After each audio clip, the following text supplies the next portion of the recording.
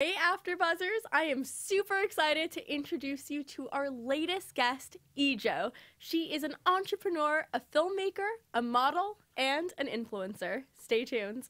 You're tuned in to AfterBuzz TV, the ESPN of TV talk. Now, let the buzz begin. Welcome, welcome, welcome, Yi Zhou. I'm super excited to talk to you today. You're an entrepreneur, you're a filmmaker, you've done so many cool things, and I know there are a lot of obstacles as a female in this industry. So, we're going to talk about uh, the obstacles you face as a female entrepreneur in this industry. We're also going to be talking about your brand Global Intuition, um, your partnership with Shiseido, and later on your upcoming film Stars and Scars. So let's just get right into it right now. Um, tell me a little bit about yourself. Well, I was born and raised in China for the first seven years, and then I grew up in Italy and went to school in Paris, University, Paris, and London. And then I moved back to China in 2011 and started my company, Zhou Studio, um, to produce content mostly for my own art videos because uh, I started as a video artist, and and then slowly we bridged to work with luxury brands that mm-hmm. wanted to um, penetrate um, the Chinese market, which was booming uh, back then in 2010 and 11, and now I've been relocating myself and started also a US branch of my company Zhou Studio in Los Angeles since last year and so I'm really happy to discover more American life and all the entertainment industry and um, the lifestyle. Do you think traveling to so many places and living in so many places in Europe and then also in China and now coming finally to America has influenced your filmmaking and your fashion sense at all? And if so, how? I think uh, definitely we are um, a togetherness of our experiences and definitely live in different countries has been really shaping like a very open mind without boundary. And that's why i've always been a creative person. And and then uh, now i think challenging more into entrepreneurship to be able to add the creativity in the business. I think it's a new challenge for me so, talk to me a little bit about Global Intuition because I know you're wearing Global Intuition right now. Mm-hmm. Tell me about the fashion brand. What is it like? What are you, what are you going for when you when you think Global Intuition? Global Intuition is a brand uh, we launched last year in July with Fred Segal with a collaborative um, line that we did with the support of Swarovski, and we did the window on Sunset, uh, which was a giant sort of sign, and I really liked it because you know you could drive by at night and see it. And Global Intuition is um, a modern approach to fashion, meaning that we have three lines. Uh, one is a basic line, which is really athleisure, affordable, and for millennials and beyond. Mm-hmm. and like what I'm wearing is a basic line of jeans and uh, jean jacket, t-shirts, and we have a classic line which is a little bit more high end, uh, higher priced, mm-hmm. uh, with um, a different range of leather jackets and jackets and pants upcoming.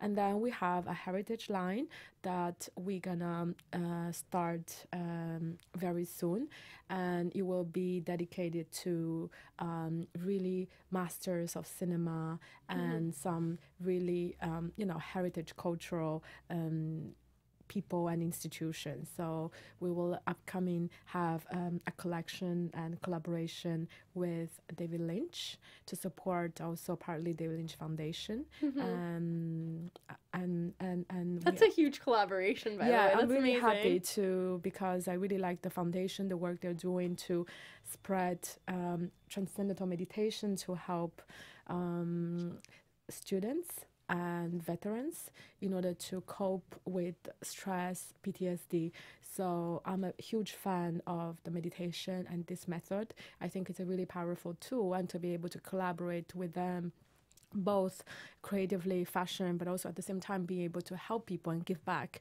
I think that's something that is really important to me. And and so yeah we're really excited and and we are also launching our sneaker line um, which is a basic line um, with sneak, sneakercon in collaboration with endeavor wme img group in China Very in. May. Yes. Very cool. That's a lot. Yeah, That's a a lot. lot to take on. Mm-hmm. So how did you go about that? What what was your thought process like when you said, I'm gonna create a fashion brand, it's going to look like this, we're gonna do these collaborations.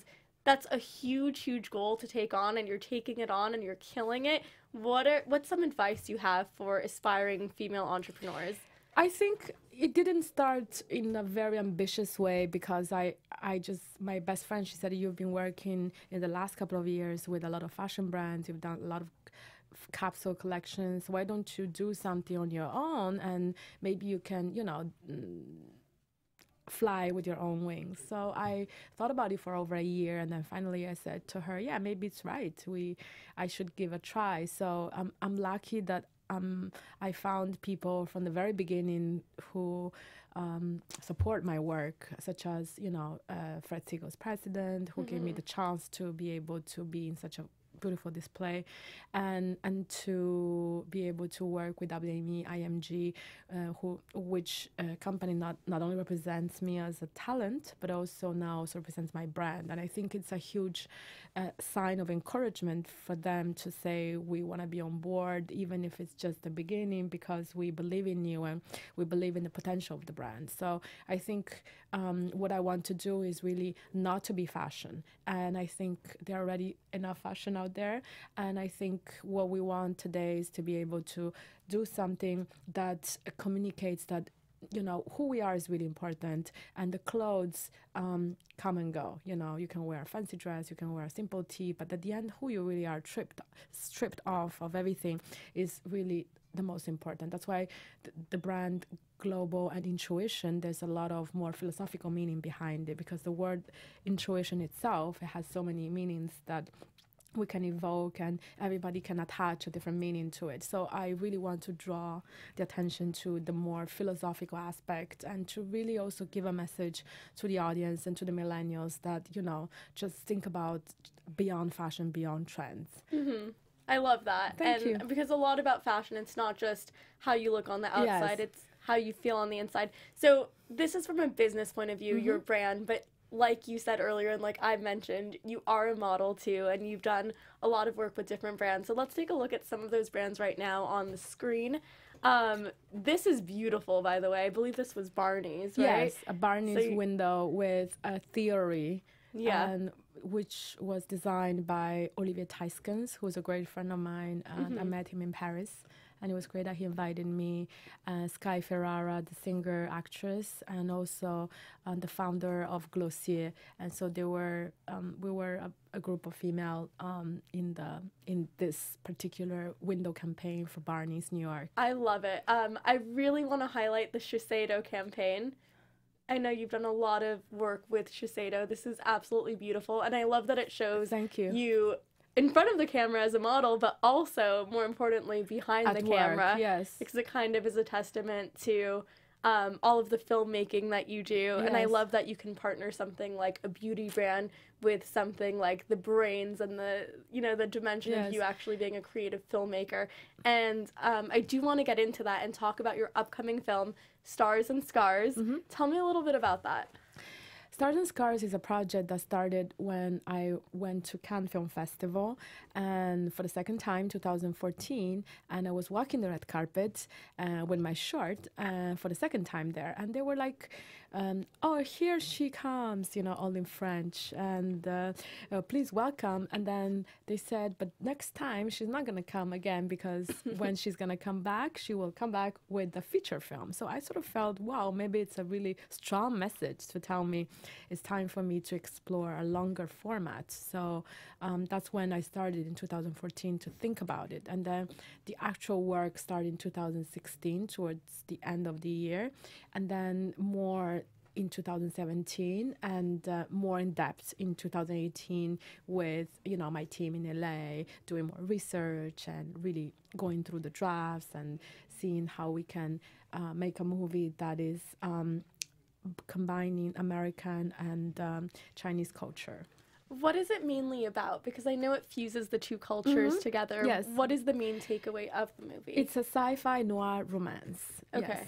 Very cool, very cool. Well, I'm really interested to see it when it finally does come together. Mm-hmm. Um, are there any other future projects that you're working on that you want to plug?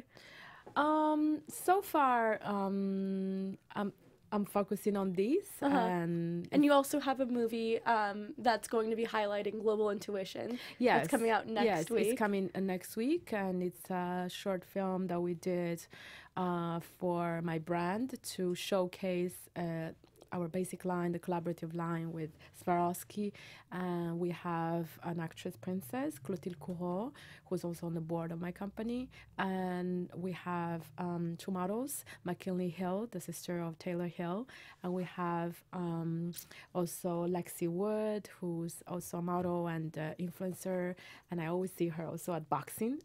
She's very sporty, and and then it's shot by Sophia Banks and in her house. So I really like the idea that I worked with another filmmaker to be able to create something, and I was this time in front of a camera, more in the art direction, and working with um, someone. So I could really see that um, how much effort as a female filmmaker we have to put into the work, and for her to be able to juggle so with her daughter, with her family. So I think really applause to all the people working hard uh, behind the scenes to make things happen and to make a change. And a huge applause to you as well. I love that not only are you an entrepreneur, you're a model, you're an influencer, and you're so ambitious and you're doing all of these very cool things. Thank you. So thank you so much for sharing all Thank of your upcoming projects with us. Um, and before we get going, where can everyone find you on social media? So at Yi Zhou Official and at Global Intuition and at Yi Zhou Studio. Thank, you Thank so much. Thank you so much, Yi Zhou. And you guys can all follow me on Instagram at Mina Makes Magic. Thank you so much for tuning in. Our founder, Keven Undergaro, Phil Svitek, and me, Maria Menounos, would like to thank you for tuning in to AfterBuzz TV.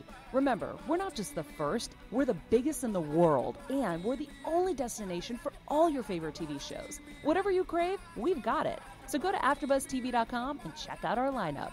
Buzz you later. The views expressed herein are those of the hosts only and do not necessarily reflect the views of AfterBuzz TV or its owners or principals.